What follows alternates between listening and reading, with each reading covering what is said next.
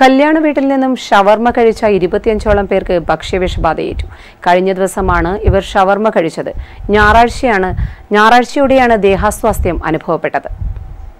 ചൂട്ടാട്ടിലെ കല്യാണ വീട്ടിൽ നിന്നും ഷവർമ കഴിച്ച ഇരുപത്തിയഞ്ചോളം പേരെ ഭക്ഷ്യവിഷബാധയേറ്റതിനെ തുടർന്ന് വിവിധ ആശുപത്രികളിൽ പ്രവേശിപ്പിച്ചു. കഴിഞ്ഞ ദിവസം വൈകുന്നേരത്തോടെയാണ് കല്യാണ വീട്ടിൽ നിന്നും ഇവർ ഷവർമ കഴിച്ചത്.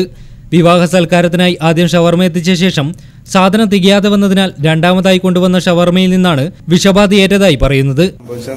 ഞങ്ങൾ കല്യാണത്തിന്റെ ഒരു പത്ത് അഞ്ഞൂറ് ആൾക്കാരുടെ ഓർഡർ ആദ്യം ചെയ്തിട്ടുണ്ട് അങ്ങനെ ബർഗർ ഓർഡർ ചെയ്യുക അപ്പൊ ആൾക്കാരുടെ കൊണ്ട് കുറയും എത്തൂല എന്നുള്ള ഒരു കുറച്ചുകൂടി എടുക്കാൻ വേണ്ടി പോയ ഒരു അൻപത് പീസ് അപ്പൊ അമ്പത് പീസ് ലാസ്റ്റ് കഴിച്ചവരിലാണ് ഇത് കണ്ടത്. പിന്നെ മറ്റുള്ള ഭക്ഷണം കഴിച്ചവർക്കൊന്നും അത് കുറിച്ച് കാരണം ഞാൻ ബിരിയാണി കഴിച്ചിട്ട് അടുത്ത കുറിച്ചിട്ടുണ്ട് മറ്റുള്ളവർക്ക് കഴിച്ചവർക്കൊന്നും പ്രശ്നമില്ല. നമ്മൾ ഇപ്പൊ പുതിയാപ്പിളിന്റെ അങ്ങനെ വന്ന ആൾക്ക് അതിന് മുമ്പുള്ള ഷവർമ്മ ബർഗർ കൊടുക്കുന്നുണ്ട് അത് കഴിച്ചവർക്ക് ആർക്കും പ്രശ്നമില്ല. പക്ഷെ ഇത് കഴിച്ചവർക്കെല്ലാം എല്ലാവർക്കും സംഭവിച്ചിട്ടുണ്ട്. ഒരാളെ ഒരാളെ ഇപ്പൊ റിസൾട്ട് വന്നുകൊണ്ടിരിക്കുന്നുണ്ട് ഇപ്പൊ ഏകദേശം ഒരു പത്തിരുപത്തെട്ട് ആളായി. കുട്ടികളടക്കം എല്ലാം കൂടിയിട്ട്.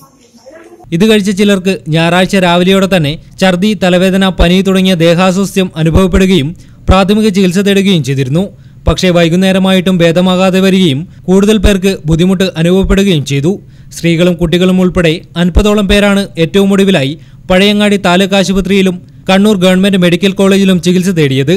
പുതിയങ്ങാടി മെട്ടാമ്പ്രത്തെ ബേക്കറിയിൽ നിന്നുമാണ് കല്യാണ വീട്ടിലേക്ക് ഷവർമ സപ്ലൈ ചെയ്തത്. News bureau Pazhayangadi.